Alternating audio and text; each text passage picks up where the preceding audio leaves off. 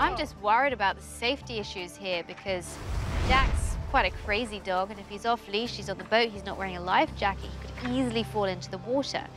Sure enough, as soon as Darla turns her back, Jack is overboard. Okay, stay there, stay there. With no way to get Jack back onto the boat, Darla has to row him to shore. Stay there, Jack. No, stay. Jack, don't go. Come on. Jack is an accident waiting to happen. No, Jack. Okay, yeah. Oh, oh, he's gone. He's jumped off.